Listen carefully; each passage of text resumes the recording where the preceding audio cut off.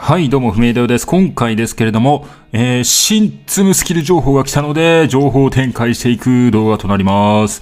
ぜひともチャンネル登録よろしくお願いいたします。ということで、まあ、ジョンプニさんから、えっ、と、情報が出ておりまして、そちらを紹介していきたいなと思います。で、まあ、こちらはね、もう、あのー事前情報で分かっているフラワーティンクチャームですね。が、えー来るということが確定しております。で、この花のね、チャームツムが、えー一緒に、えーサブツムとして出てくるというとこです。で、えーディズニーフェアリーズっていうシリーズかなから出てくるということですね。ティン、ティン、ティンクっていうと、ピーターパンのティンカーベルと同じなんですか？ちょっとそこら辺が自分いまいち知らないんですけども、はい。そんな感じです。とりあえずディズニーフェアリーシリーズからの登場というところですね。で、確率アップが4月7日の水曜日10時59分までというところで、えっと、今現在、えー新ツムが2体登場してますけれども、それが4日までなので、はい、なんと日曜日に行きます。ということは、新ツム確認会ライブすることができます。ありがとうございます。ということで皆さんぜひご参集よろしくお願いいたします。はい。ということで、えー、と、早速スキル内容を見ていきましょう。はい。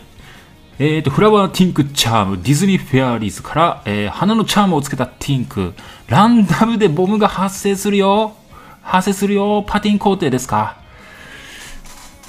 あ現時点で絶望なスキルですね。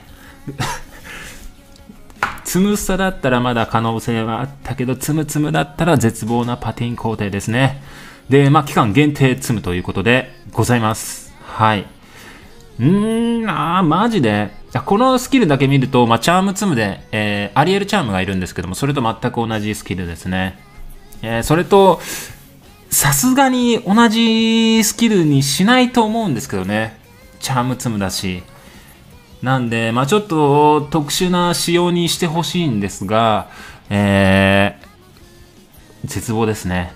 でちょっと、とりあえずアリエルチャームがどういうスキルなのかっていうところと、あとスキル発動数とかですね。まあその辺をおさらいしていきましょうか。でそこと比較して、まあこんな感じになればいいんじゃないかなっていうのが多分わかると思うので、はい、えー、ということで自分が所属しておりますハニスターゲーム8の攻略サイトを見てってですねまずこれスキル映像がこんな感じですけれどもはいボムがこんな感じですスキルマだと確か7個確定だったと思います。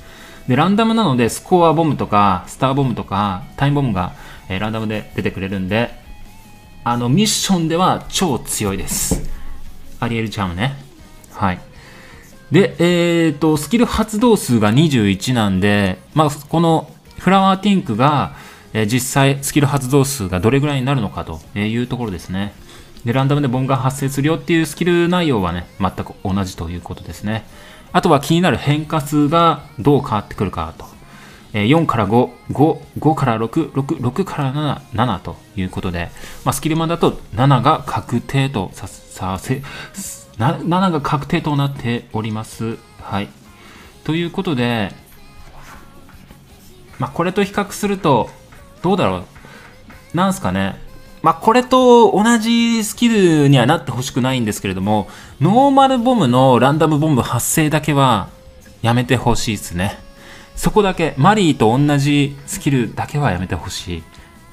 これは切なる願いになりますよね。はい。で、ちょっと特殊なところで言うと、ランダムボムって結構特殊なボム、あスキルもあるんですけども、それを見ていくとですね、スプリングミスバーニーです。こちらがちょっと特殊なんですけども、えースキル映像を見ていきましょうか。まずは、スキル映像がこれ。ボムがでかいんですね。で、かつ特殊ボム、タイムボムとかスターボムとかが出る特大ボムが発生します。スクリンスプリングミスバニーの場合はね。はい。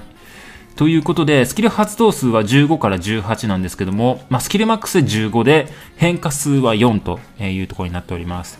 まあ、ボムがでかい分、変化数はね、少なくなってしまっているんですが、こんな感じでございます。まあ、これと似た仕様になったとしても、チャームツムなんでスキル発動数はやっぱり、アリエルチャームと比較してもやっぱり21以上にはなるんじゃないかなっていうところですね。はい。変化数がもし5とかになれば、ちょっと扱えるようになるんじゃないかなっていう気はします。はい。そうですね。こんな感じで巨大ボムが、はい、発生します。でちなみにそう、巨大ボムはね、巨大ボムは、あの、大ツム扱いにもなるので、まあ、あの、トナカイデールやったっけ？あの時も同じですけども、これがね、まあ一応、このスキルの、まあ、あの、特殊な、えー、仕様となってますね。まあ、これがさらにミッションとして優秀になるというところになりますので、まあ、アリエルとかマリーと同じようなスキルであれあるのであれば、まあ、どうせならミス・バニーとね、似たスキルになってほしいかなっていうところです。はい。であとは、まあ、これは可能性は低いと思いますが、ユーモラスドロスドロステルですけれども、これはね、ボムが特大すぎてすごいんですけど、これボムが特大すぎてすごいんだよ、これ。ドーンなんで。はい。24消去もしてくれる、えー、感じになってるんですけども、まあ、これも一応ランダム、ボムが発生する、そうか、ボムが発生するよスキルなんで、マリーと同じスキルにはならないか。ランダムでボムが発生するんで。なんで、このパティーンの、このパティーンの、あれがいいっすね。特殊なタイムとかスターが出るのがどうせだったら嬉しいんじゃないかな。コインも多少入りますし、えー、ミッションにも使えるというところで、これがいいな。個人的にはいいなと思っております。いいっすよね。これが良くないですか？他に強くなる方法としてはどうなんだろうね。そう、これ、スキルマだと最大36消去とか消してくれるんで、この仕様がいいと思うんですよね、個人的には。なんすよ、なんすよ、なんすよ。いいんだよなこれがいいんだよなはい。という感じで、えっ、ー、と、まあ、こういうスキルになったらいいなというところの、まあ、ちょっと考察、はい。まあ、可能性、こんなスキルになる可能性がありますよという、えっ、ー、と、まあ、ちょっとツムをね、紹介しましたけれども、まあ、通常で言うと、アリエル・チャムと同じスキルになってしまうのかなというところになっております。はい。まあ、基本的にボム発生スキルは、あの絶望なので例えばタイムボム確定とかで出る、まあ、サムガリピグレットみたいな、え、そんな仕様になってくれれば、えー、まあ、多少は使う人増えるんじゃないかなと思うので、まあ、そういうところもねちょっと期待したいかなと思います。